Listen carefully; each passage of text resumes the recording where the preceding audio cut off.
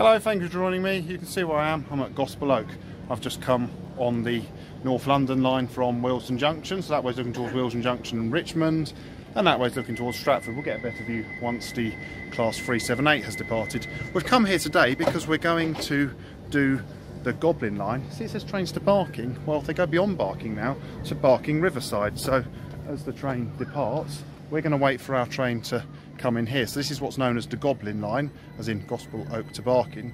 But last week they extended it by one more stop to Barking Riverside, and that's what we've come to do today. There goes the Class 378. So now that's gone, we'll just have a quick look at the North London line. So the line curves that way towards Camden, and then it curves again and heads east. And then if you look that way, you can see that way goes towards Willesden Junction. We're kind of at the bottom corner of Hampstead Heath here.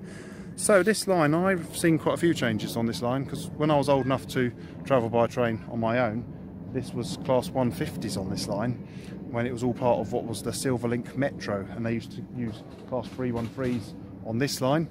Then the 150s were replaced by class 172s which then went to West Midlands Railway so you can ride them still in the Birmingham area. In fact some of the ex um, 150s that worked on this have now gone to Northern. I was at Bolton station in early 2020 and I saw a Class 150 still in the London Midlands colours coming in.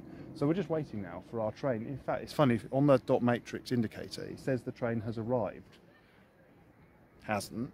um, but it does say Barking Riverside. Oh yeah, here we are. So this is one of the, the new trains which now work the Gospel Oak to Barking line since it's been electrified. Although when it was electrified, I did once travel on this line on a class 378, but shortened to four cars, because I think you can only fit four cars on this line. So the train's going to pull in, we're going to ride our way right through to the other end. Incidentally, those lines there, there, that's the freight connection. I did want to do that on a rail tour, but that's very rare for passenger haulage. And there's a train coming in, that's going to Richmond. We have two different types of London Overground EMU. So we're going to go on 7110 265 to Barking Riverside.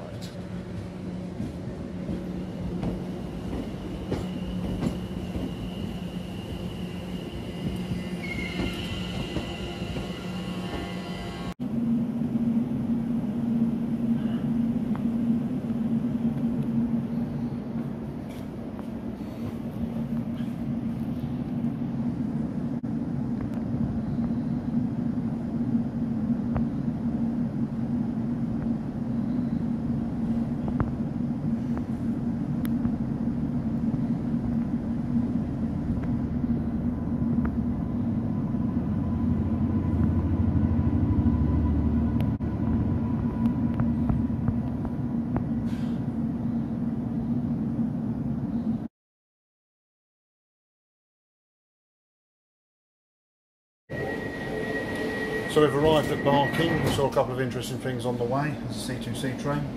We, Gospel to Barking trains used to terminate at the platform right over the other side of the station, but that's now effectively become a siding. So if you're a track basher and you haven't done that siding, then um, I don't know when your next opportunity is going to be. But we're now on the line towards next Shoeburyness. Barking Riverside. Next station is Barking Riverside. So I've never been beyond Barking on a London Overground train before. And you've also got the district line to Upminster, the C2C line straight ahead to Shoeburyness. Yeah, sorry, I said this was going to Shoeburyness. Technically it does, but this is the long way via Tilbury. And a goods train is just going past on that side. I missed the goods train for looking out on this, but I saw quite a few other goods trains on the way. So that's the London Tilbury Southend line.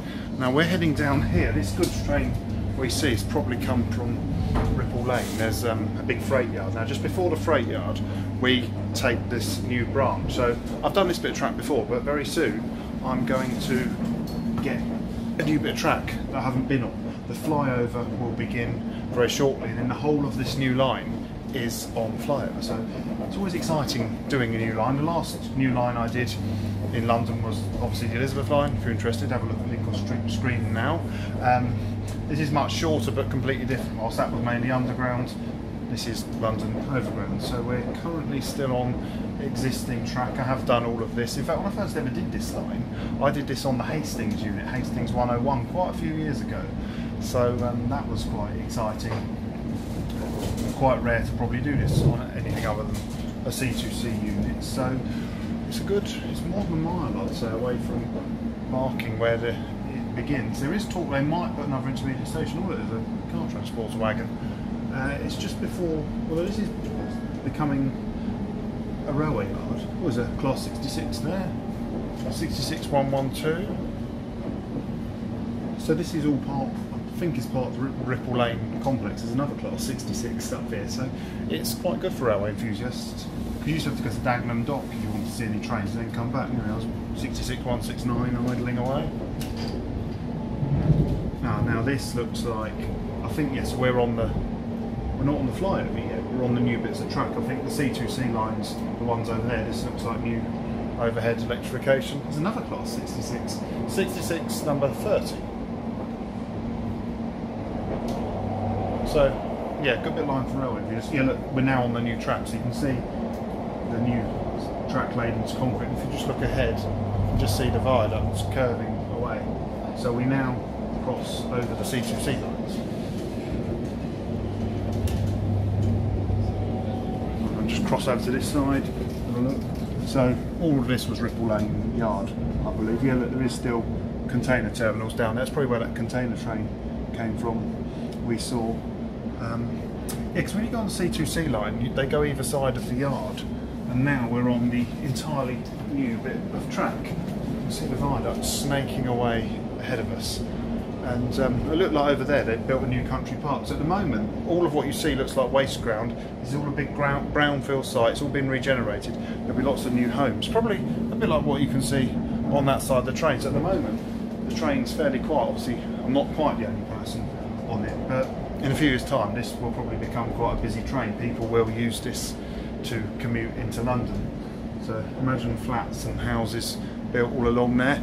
In the distance over there, you can probably see some smaller tower blocks. I think that's possibly Thamesmead, which is on the other side of the River Thames. Well, my intention is, it's called Barking Riverside, to go and have a look at the river itself. So we're just coming into the station now. It's a bit of a dead end. What would be really cool is if they could one day extend it over the Thames, but I don't know if that happen. That'd be quite exciting there's a college there, Riverside campus. So yeah, the term Riverside is very much. Yeah, I can just see the Thames over there. Some development is clearly going on here. So, so, so this is obviously a winning station for me, winning bit of track. When I come back, I'm not sure if I'll get to do the crossover, but um, there's obviously a crossover there. It depends. When I come back, I'll try and get a train out the other platform, and I'm not too worried about the crossover Um, so we're just coming out. I'm in the last carriage, so when we get out, we'll be able to walk down the whole train and have a look. If you look out over there, yeah, get a good view now of the Thames. You can see industrial ships in it, or maybe you can't, but well, I can see industrial ships. The camera may not be picking them out, but they are there. So this view, you actually get quite a good view from the station. But all of this will disappear when they build houses. You won't be able to see quite so far. So let's get off and have a look around this new station. So I'm filming this video today um, on, what is it, it's Wednesday the 26th of July. The station opened on that really, really hot day when there was a heat wave. Um, and everyone was advised not to travel, so I couldn't travel. I, I happened to be down in the south, so I went to the Isle of Wight that day. So if you want to see that, have a look at link on screen now. So let's have a look. So this is the train we've just arrived on, 17110 265. That's the view you get out over there, so you can see the river, ships in the distance, you can see some incinerators, and then over there, that's all the other side of the river. Let's have a look through here. Can we get out? This is an emergency exit. Oh, there's a train just departing for Gospel Oak, 256.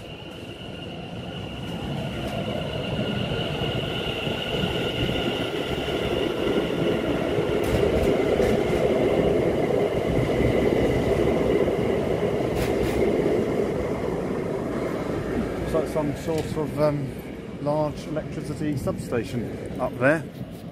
We are, we've arrived at Barking Riverside. What else can we see down here? So there's obviously bus routes come this way because I can see a bus down there. And from the end of the platform here, gives us a chance to see the viaduct stretching off back towards Barking. I think possibly in the future there's talk of the DLR being extended here and I can just see an aeroplane landing at City Airport. I don't know if the camera's picking it out. I expect it may happen that the DLR gets extended here. I think uh, something will happen Whether it would be great if they did extend this over the river, whether they will, my thought is it might have to be some sort of lifting bridge if they were to extend it because you might not get the big ships underneath at the level we're at because we're not exactly that high above ground. Now let's have a look at the architecture of the station. Look at that, it's really quite an impressive building. It's kind of semi inside and semi outside. It's quite windy up here, nice and cool. It's not too hot today, it's about probably about 20 degrees, 19 degrees. Um, so that's why I didn't come here.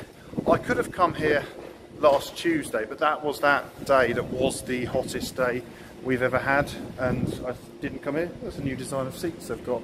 I didn't come here on that day because I just thought, you know, well, we were told not to travel, and I think it would have been. In, in fact, I don't actually think any trains ran that day. I think trains ran on the opening day, and then everything began to go wrong. So the trains effectively stopped running. To get to here, so if you arrive and get catch a train, it's raining, you can wait in here. Although thinking about it, would you ever actually need to sit on these seats? Because it looks as though there's always a train here. There's a train here now, and as we saw, there was already a train when we arrived. So I think these seats a little bit pointless, although I suppose it could be useful if there were times of disruption and you know there were no trains here, then you may need to use those seats. Now let's have a look around this. So the way out station says lifts over there. There's um, steps going down from this end of the station, we get a really good view out over the river. I can see a boat in the distance. Let's have a walk around here. So it almost looks like it's not out the question that the line could go further, whether this will always be the terminus.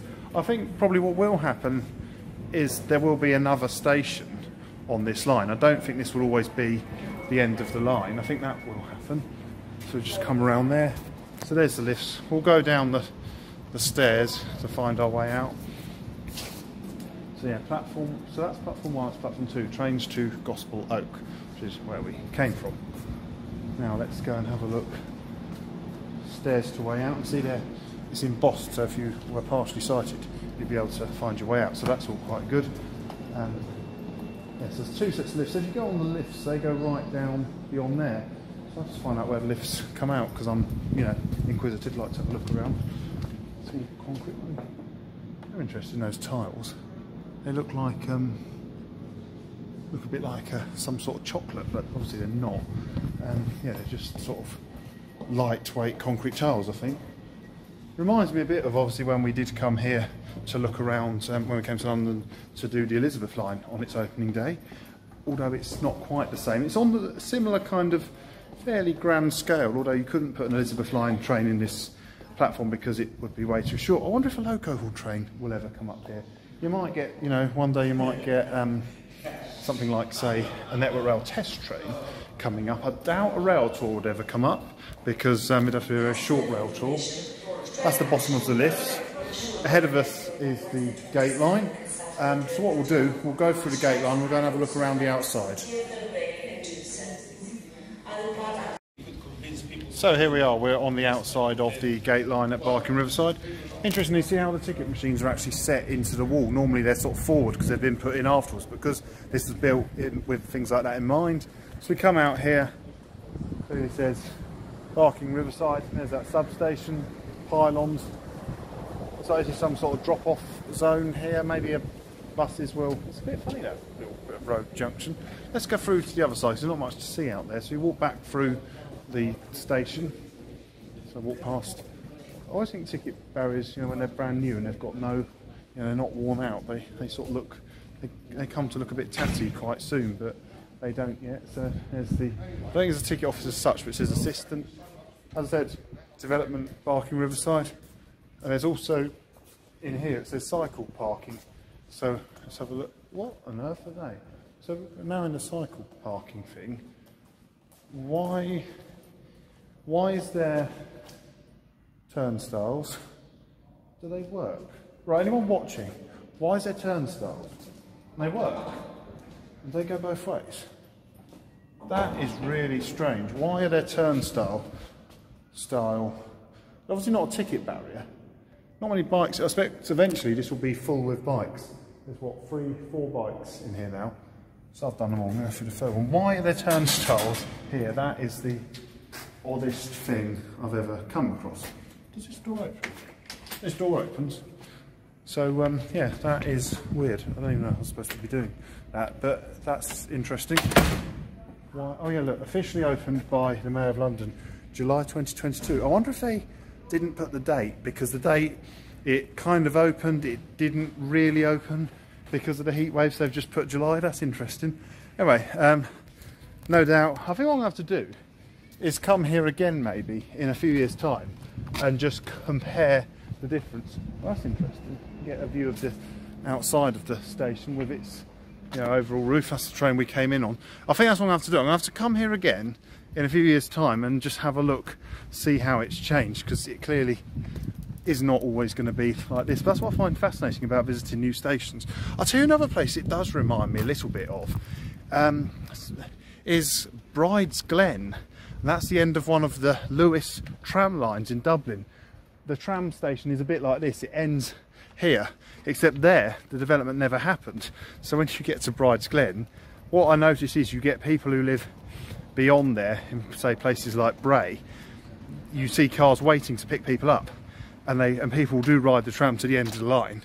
Um, but the interesting thing is when you get on the tram in Dublin, uh, it says um, this tram is for Cherrywood. Um, it doesn't say, and, and, Cherrywood's the penultimate stop. And I said to drive one day, I said, why do they say it's for Cherrywood when Cherrywood isn't the end? And I asked him this at Bride's Glen. He said, well, have a look around. What do you see? I said, nothing. He, but there's your answer. So um, it just does remind me a little bit of that. But it seems, look, look all those cranes. The development is happening this path seems to be a bit endless. What I'm going to do, I'm going to keep walking and go and find River Thames. So as well as the station, Barking Riverside is the brand name for this huge development. That was that what seemingly seemed like an endless path we just walked along. And there's the station. So all of this view we see here is a temporary view. You know, buildings are going to crop up all here. You might just get that view. I'm not sure what's going to go on here you can see there's sort of um, there's a few planters around. Um, so it'll probably be quite pleasant when it is all done. There's obviously going to be building done here. What's this about? This is another strange thing. Look at this. There's a, a temporary bridge. But why is there a temporary bridge here? We go over it and have a look? Doesn't yeah, I don't think they've just painted it. Why have they built a temporary bridge here over nothing? Anyone watching know the answer? Let's go to Orford Station. If you know why there's a random temporary bridge, look, and it is a bridge, it's not just a ramp, it appears to serve no purpose. Look, why, why is there this temporary bridge? What's this for? Very strange. It's a funny place this. They've had mystery turnstiles, mystery temporary bridges. Um, yeah, what's all this about? It says footpath 47. I think if we go down footpath 47, we might find River Thames. And again, there's that view. train in the other platform of Barking Riverside. You can clearly see the work going on. I can just see the city over there and Shard in the different distance. Let's go down here because the Thames is now in front of us. And um, what else we got here? There's all these containers. It says Barking Riverside Project Office. So, as we know, it's a big development and I, you know, I am interested to see this development develop. Oh look, there's the Thames. So we've kind of reached the riverside at Riverside. In the distance, I can just see the QE2 bridge. I don't know if the camera will pick that out. But looks like it might be a cafe or something. That's quite nice. Um, what's here? So again, they're probably going to develop there. I want to at least get to the river, and I feel like I've reached the riverside at Barking Riverside. I did a few years ago walk along, yeah, I, I, think it was along there. When I did the London Loop, which um, one day I'll do and do a series of videos on, I went by train to Erith, and I think I walked that section of London Loop.